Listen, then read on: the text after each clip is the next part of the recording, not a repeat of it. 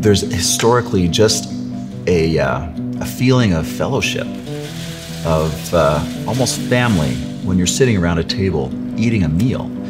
And bread is fundamental. My name's John Arbon. I own Cast Iron Bakery. One of the things that I remember growing up is my mother baking bread. It was one of the best days of the week because that bread would come out nice and steamy and hot. We would cut into it, the steam would just explode out of it.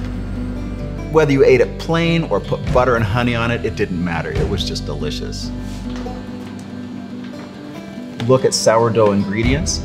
You'll see three basic ingredients, salt, water, and flour. I let my loaves ferment for anywhere between 8 to 12 hours. Time is what creates a real sourdough and the quality of nutrition that you want out of a sourdough.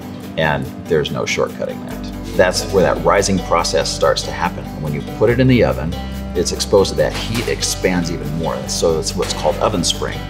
The oven spring goes, and your loaf just pops out like that. And it just, it's, it's a beautiful process.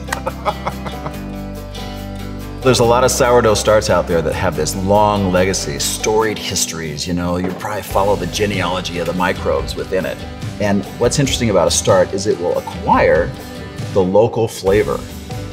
The, the stuff in the air, the yeast and things like that are going to be different in my area than they will be in San Francisco, back in New York. There's a subtle flavor difference between all these sourdoughs. The legacy of the cast iron sourdough, built here in Springville, Utah, with the local flavors, local store, has been a year-long process up to this point, and it will continue on. My body says thank you, my taste buds are rejoicing, my salivary glands are working overtime. This is why I bake bread. It's a pleasure for me to see the pleasure in your face and know that you're getting a nutritionally sound product as well.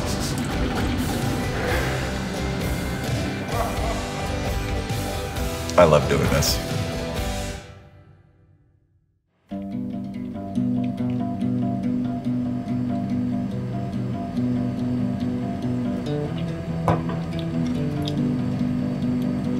Mm-hmm.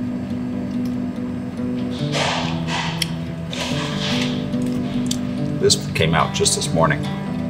This is one's coming home with me. I don't get tired of it. It's just got some wonderful flavors to it. Whether it's this or the Kalamata olive and Parmesan, which by the way makes a great open faced sandwich with tomato, some balsamic vinegar. Mmm.